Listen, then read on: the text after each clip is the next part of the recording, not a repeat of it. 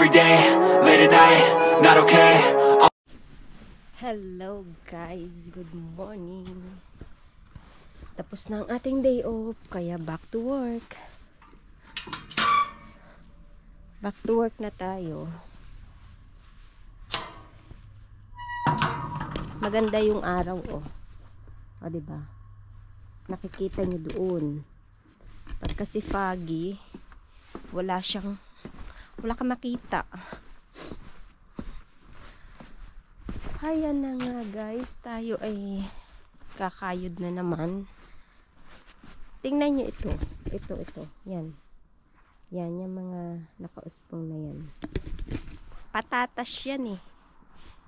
Pero inyo yun. Nabunga pala uli ang patatas. Ano kasi yan eh, hindi na hindi namunga. Pero, ewan ko ba, tinanim ko pa yan last summer. Ngayon tumubo. Aba, magaling ah. Nagdala ako nito. Itong pambalabal ko. In case na nauupo kami sa salas. May pang kumot ako sa paa. Kasi yung paa ko yung bintiba. Ang laging nananak, ang laging nilalamig. Tapos sasakit yung tiyan. Hindi ko na natapos yung video ko kahapon. Pero natapos ako ng aking ginagawa guys. Kahit ako'y tamad na tamad. Alas tres na kami nakapag lunch ni Mira. Tapos bumaba pa ako kahapon dito guys at ako ay naligo kasi sobra kong alikabok. Kasi nung nilinis ko yung vacuum ko ba is napaka alikabok guys. So ayan back to work na tayo. Nagiging ano na guys kasi darating na si amo ko. Bukas. Bukas ang dating niya guys. So have a nice day everyone. Today is Sunday. Sobrang sorry naman medyo late talaga aking mga pag-upload. Hindi po talaga ako nag video at nag-edit nung mga nakaraang araw. Wala ako sa anong mag ano nag ano lang ako mga Ayan, pa video-video. Niimba ko lang guys. Pasensya na. So, I'll see you later. So, hello, hello, hello guys. I am back. So, dumating na si Joe. Galing part-time niya. Nag-part-time kasi siya, Joe. Eh, siya. Uy, yung manok oh. Nakatokos. At napagpasyahan niyang pumunta sa St. Charbel guys dun sa place malapit kina Ate Feli medyo ganung way tapos papagano naman yung simbahan na ano na kasi ni John na magpunta dun sa St. Charbel guys eh unang taon to I mean gusto niyang uh, makapunta sa St. Charbel bago man lang uli kami maging abala sa mga susunod na araw guys. Bukas na po kasi ang dating ni Amo so wala na kami magiging ano para at least man lang ba? Diba? total Sunday naman ngayon guys. So magsimba na rin kami doon. So ayan na nga bilis-bilisan na kami nagbihis. Kasi pag nagyaya po yung isa eh yala ariba-ariba na kami guys. Sumira pa baba na rin nagbihis na siya. Parang maiinitan naman ako. Okay lang yan. At least hindi ako nalalamigan. Mas mahirap yung malalamigan ako guys. Medyo yung tiyan ko ano pa rin talaga timplahin. Kumain lang kami ng lunch pero wala din. I-binlow out blow out. Inilabas ko rin siya lahat guys.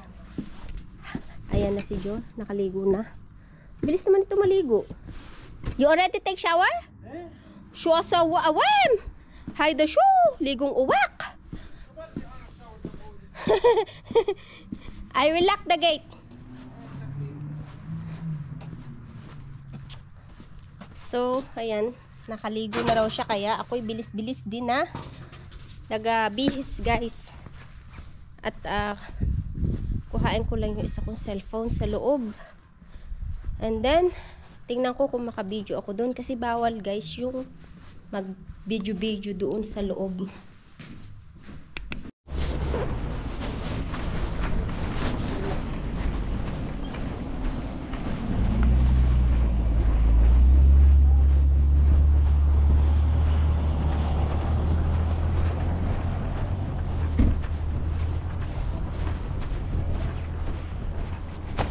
Like yun. Yun lang kayo sa bag, guys.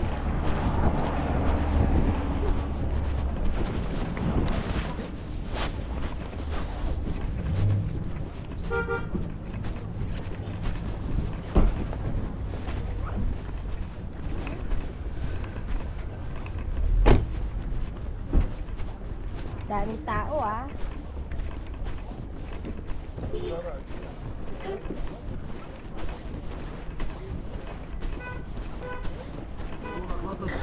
Oo.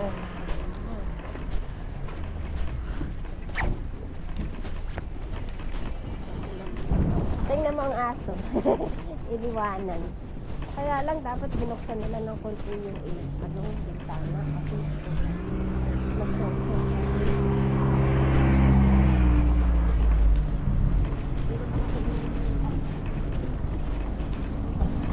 Ako iniihi lang kanina lang ako nagsasabi. Oo, meron to. Doon sa baba.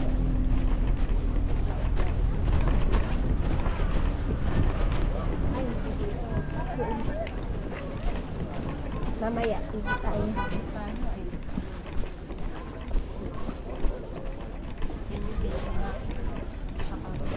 Mm. Diba? Nakaalis.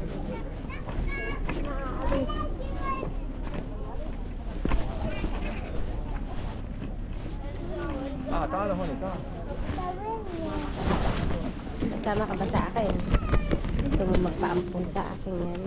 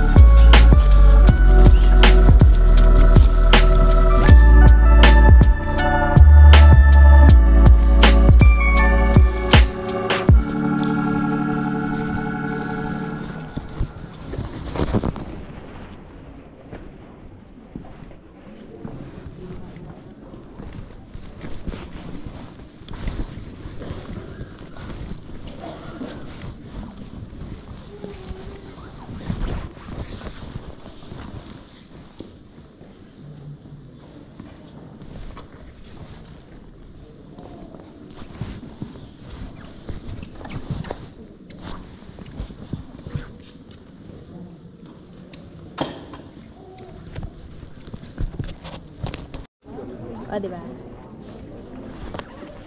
Även om.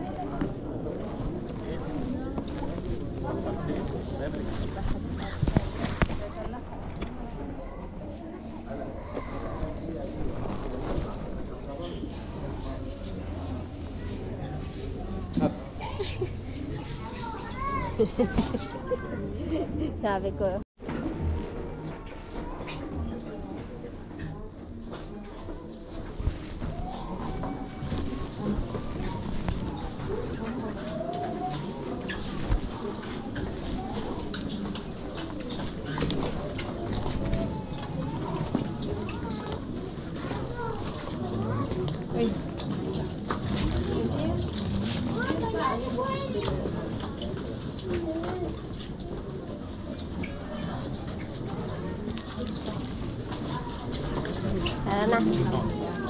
Ah.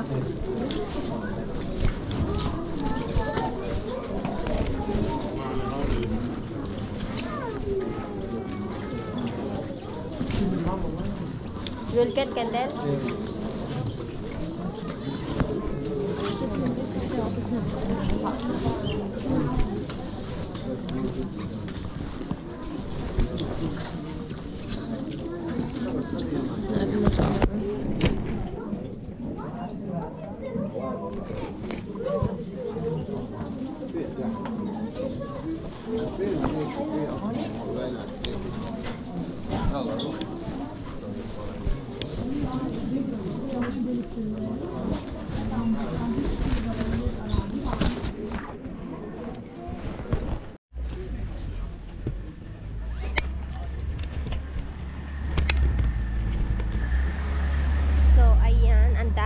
guys sa Marcharbel.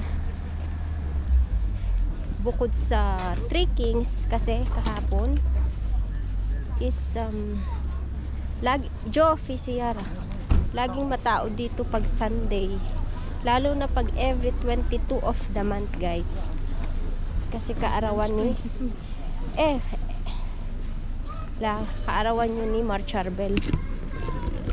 Karaman mo ngayon? Hindi te. Pero siguro kahapon, Three Kings, di ba? Iihi muna ako.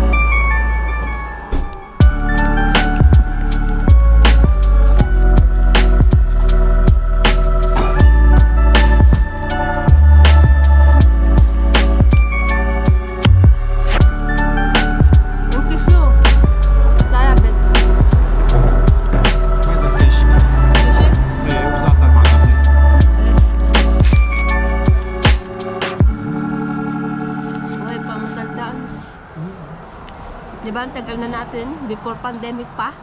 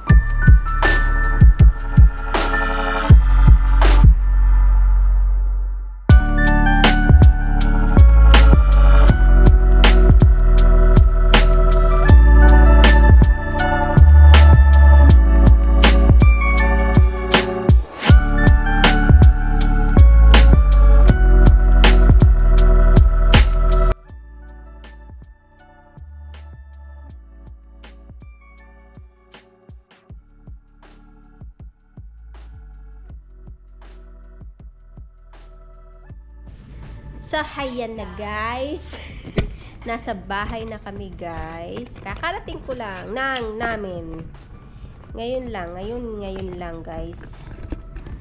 So, ayan, at least naman ay naipasyal ko kayo kahit papaano sa ibang lugar. Sa ibang lugar guys. So, ayun na nga, after namin magpunta sa St. Charbel, ay, shuma sa Kartulbed, ay kami ay kumain ng, yun po ang tinatawag na saj. Saj. Hindi, um, mas, mali, mas manipis yung dough niya kaysa sa manushi, guys. So, ako ay mag-aano na. Pajama, guys. So, I think hindi ko na pahabain itong video na to, guys. Puputulin ko na dito. Guys, Kasi wala na akong gagawin pa. guys. Kalas. So, ay happy three kings nga po pala again. And I'll see you again tomorrow. God bless you all. At least naka punta tayo sa sacred sacred sacred place dito sa Lebanon, guys. So, see you later and thank you for watching. Bye.